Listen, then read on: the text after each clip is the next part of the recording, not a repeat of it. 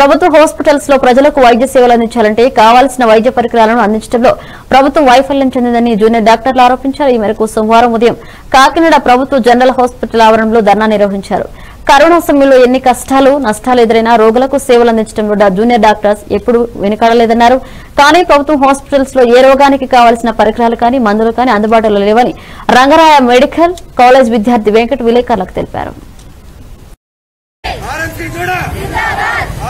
छोड़ा एपी छोड़ा एपी छोड़ा आवाज दो आवाज दो आरएमसी छोड़ा आरएमसी छोड़ा एपी छोड़ा एपी छोड़ा एपी छोड़ा